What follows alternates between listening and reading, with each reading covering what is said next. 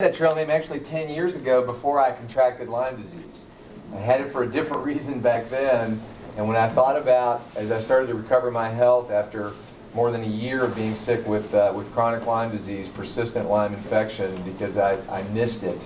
My, my, uh, myself primarily, but my doctor too, several doctors missed the diagnosis, and, uh, and I got really, really sick for a long period of time. When I started to finally recover, um, I thought, well, boy, that trail name sure is perfect, and uh, I decided to keep it because I'm hiking the, the Appalachian Trail, you know, primarily because I've always wanted to, and like anybody else, a life-altering illness will get you to rearrange your priorities and make you wonder why you're putting things off. So, but I also wanted to hike it to um, raise awareness for Lyme disease and get people facts that if I had had this knowledge, and I thought I was knowledgeable about Lyme and tick-borne diseases before I was infected two years ago, two years ago May, because I'm a 25-year backpacker. But I had um, myths in my consciousness that are still being put out that are absolutely incorrect about how to prevent getting Lyme and how Lyme works and how other tick-borne diseases work. It's not just Lyme, but I'm going to talk primarily about that. So I want to equip you with the knowledge that not only can keep you safe, but you can pass it on. You know, I really want to be kind of Johnny Appleseed with this hike. And, you know, I'm covering my miles every day, but if I'm running into day hikers, section hikers, other through hikers, northbounders, I'm going south. I'm, I'm actually just a little north of Duncannon right now. I'll head back tomorrow.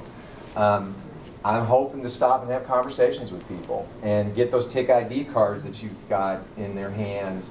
Um, get my website and YouTube channel to them so they can follow up and get more information and you can pass it on to other people.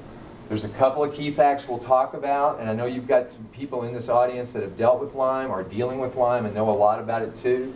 So we'll have plenty of time for good Q&A and discussion about it. Um, but there's fun, some fundamental facts that we want to make sure you get that can really improve your chances of never getting this.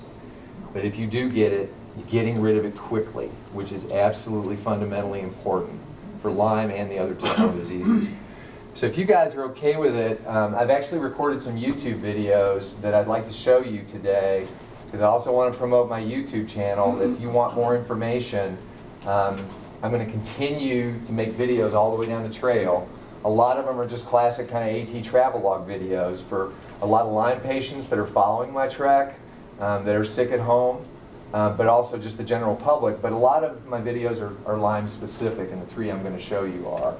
So if, if it's okay with you guys, uh, Patty's also going to uh, film me because I'm going to try and get this up on YouTube too and make sure other people have access to what we talk about today, including your comments and your knowledge. Um, a lot of it very hard earned as veteran hikers about these diseases. And if anybody won't put any of you all on camera, but your voice might, might get on there. And I'll try to restate your questions with my nice loud voice so we pick that up on audio too. So I'm going to go ahead and play a couple of videos. The first one is an introductory video that just kind of tells you who I am and what my experience was and, and what brought me to this point. Yes, sir? When are you hiking the trail? Right now.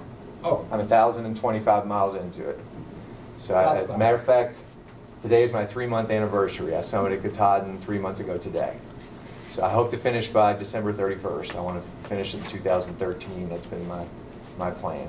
Good luck. Yeah, thank you. It's going good so far. It was hard at first, and I've still got a lot of Lyme symptoms I'll tell you about later, and I talk about in the videos that I'm dealing with, and I want to talk about them because they're really common, and uh, some of you all may be dealing with them, but if you understand what they are, you may be able to identify them as a potential Lyme or tick-borne disease symptom and not do what I did and slough them off to some other cause and allow an infection to advance when you're getting signals that it's there, but they're just not commonly known as Lyme signals, you know, as, as the, the symptoms.